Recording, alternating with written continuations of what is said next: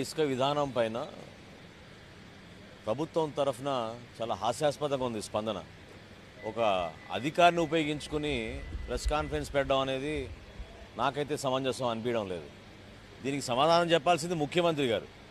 ఎందుకంటే నూట యాభై ఒక్క ఎమ్మెల్యేలు వాళ్ళ నియోజకవర్గాల్లో వాళ్ళ దగ్గర ఉన్న రీచ్లు వీటన్నిటినీ ప్రైవేటీకరణ చేసేసి ఆయన సొంతంగా డైరెక్ట్గా ఈ కంపెనీతోటి ఏం ఆడుకున్నారో మాకు తెలియాలి. మీ శాసనసభ్యులు కూడా తెలియాలి. దాన్ని మేము ప్రశ్నించాం. ఎందుకు మీరు పారదర్శకంగా జరిగిన ప్రక్రియ ఏంటి? దీని గురించి ఒక శ్వేతపత్రం విడుదల చేయండి. గతంలో ఏం చెప్పారు మీరు కేబినెట్లో తీర్మానం చేసినప్పుడు?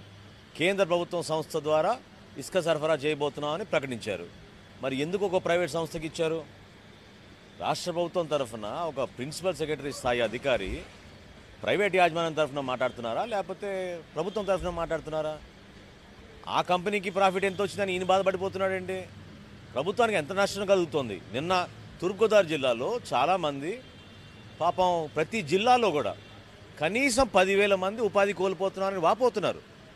మీరు కేవలం యంత్రాంగాన్ని ఉపయోగించుకుని విచ్చలివిడిగా తవ్వేసుకుని కేవలం ప్రభుత్వంలో ఉన్న ఒక్కరిద్దరు పెద్దలకే డబ్బులు ముట్టేటట్టు ఈ స్కామ్ తయారు చేశారు. ఇది చాలా అన్యాయం. రాష్ట్ర ప్రజానికానికి మీరు క్షమాపణ చెప్పాలి. ఈ పాలసీ విధానాన్ని మీరు రద్దు చేయాలి.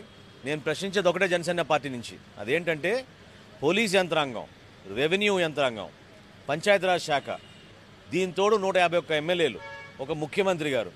ఇంతమంది పర్యవేక్షించినప్పుడు మూడుసార్లు మీరు కొత్త విధానం తీసుకొచ్చారు. ప్రైవేట్ యాజమాన్యం ఏ విధంగా మారుస్తుంది? ఏ విధంగా సామాన్యుడికి మీరు వెయ్యి రూపాయలు చొప్పున మీరు ట్రాక్టర్ వెళ్తారు ఈరోజు ఇల్లు కట్టుకోవాలన్నా ఒక భవన నిర్మాణం జరగాలన్నా కనీసం అందుబాటులో ఉండేటట్టు ధరని మీరు తీసుకురావాలి ఇసుకని. ఇదేదో మీరు ఓ చోట ప్రొడక్షన్ చేసింది కాదు. ప్రకృతి సంపద మన ఆస్తి దాన్ని మీరు గౌరవించాలని జనసేన పార్టీ నుంచి మేము డిమాండ్ చేస్తున్నాం.